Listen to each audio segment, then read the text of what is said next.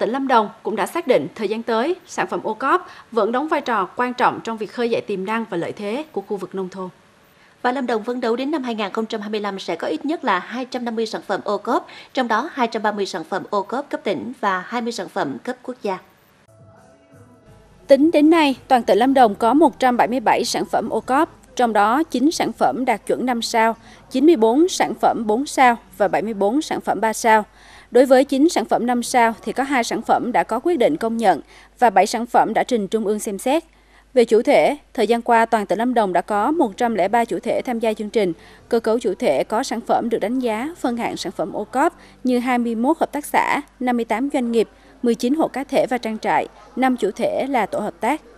Trong giai đoạn từ nay đến năm 2025, tỉnh Lâm Đồng định hướng xây dựng 30% làng nghề truyền thống có sản phẩm ô cóp, có phần bảo tồn và phát triển làng nghề truyền thống, đồng thời đưa tỷ lệ lao động được đào tạo có bằng cấp chứng chỉ phù hợp làm việc tại các chủ thể ô cóp đạt tối thiểu 20%.